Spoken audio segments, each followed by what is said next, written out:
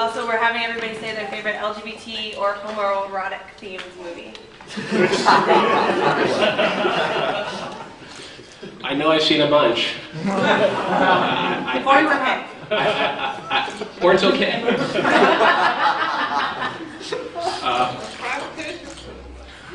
Well, you know, we have folks uh, down at kink.com, so. We'll let John. I, I thank you. My family thanks you. Uh, As far as my favorite LGBT themed movie, uh, absolutely bar none, Beautiful Thing uh, from circa 1996 or somewhere in the mid 90s, a British film.